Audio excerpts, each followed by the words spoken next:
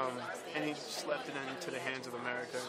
I'm just so happy America voted and kept me here. And man, I got I'm so emotional right now on so many different levels. Man, there's so much going on, and um, you know I'm happy my daughters were here, and you know I, I'm looking forward to getting my whole family here, hopefully, and and, uh, and and doing my best to take it take it home next week. Well, tell us a little bit about that extra, that last spice, that pepper that you're going to show. Mm.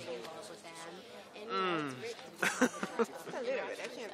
Well, it's it's all I gotta say is um, I, I'm looking forward to to really bringing some soul into this, like, you know, from where I'm from, you know, uh, taking it on back home and uh, and doing my best rendition of, of, what I grew up on, you know, uh, what my dad showed me as a kid.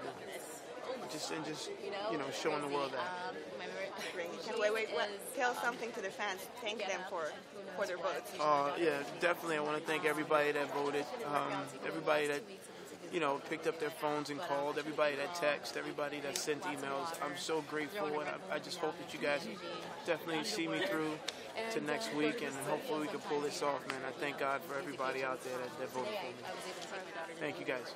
Thank you. Congratulations.